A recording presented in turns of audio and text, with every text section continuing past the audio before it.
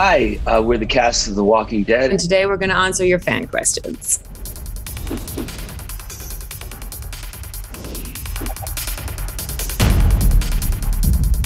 Hairspray. Eyes of the Zombie, nobody's ever proven that it doesn't work. I'm gonna take a gun with some bullets, lots of bullets. There's my bullet maker. My weapon of choice, Sean Patrick Flanery. I could just throw him in the middle of it and he would put them all in headlocks and put them to sleep. I'm strangely comfortable with it. The lady in uh, in the Aliens movie, this Gatling gun that she that she just carried on her hip. I just want to mow things down. Whatever you're gonna do, do it fast. Is there a prop? I guess a, a Lucille or the leather jacket would be uh, Negan's choices. Sweetheart, lay your eyes on this. You know what I would keep if I were you? I would keep those little spats that you wear over your boots. I know. They could be they could be dipped in some sort of the same stuff they put the bodies in. Yeah. I got a little bit of spat envy. Yeah. Yeah, yeah, yeah. I got bat envy, you got spat. teddy bear from the pilot episode. Like from I would put pilot that on the wall. Right? That deserves a place on your wall. That would go in here with uh, Ezekiel's feathers, right here. I mean, I've taken a bunch of crossbows already. I have, I think I have like nine crossbows. And I think it's a felony to own one. So I could be in trouble. If I could play another character in the Walking Dead universe, I'd probably play Michonne. Are you coming or not? Michonne would be hard to top because she's just so cool. Everything's in slow motion. The hair's flying in slow motion. Yeah, chaka.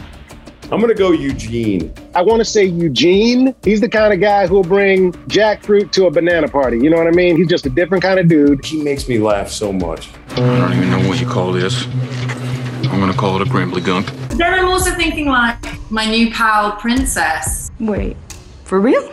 Princess. She always looks like she's having a good time. I love that character being in this world. Watch how helpful I can be.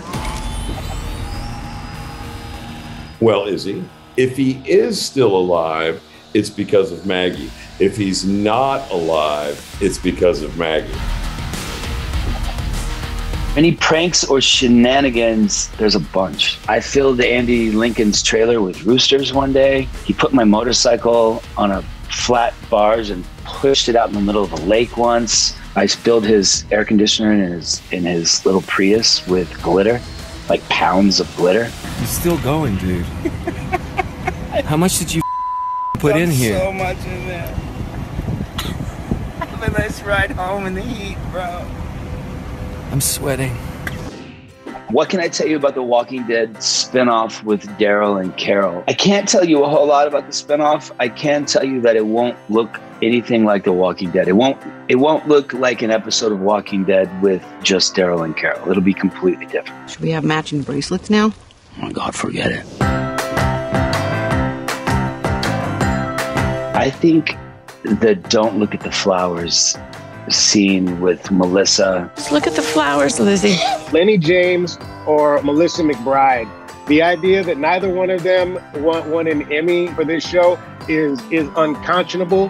Final episode of season 10, there was this really cool uh, camera move. It was really exciting because everything had to be just perfect and precise. They really killed it.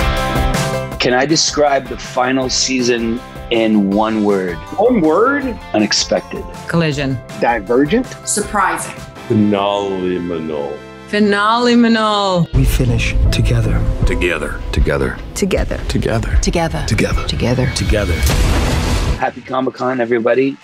Uh, I can't wait to uh, share a Comic Con with you guys in person soon.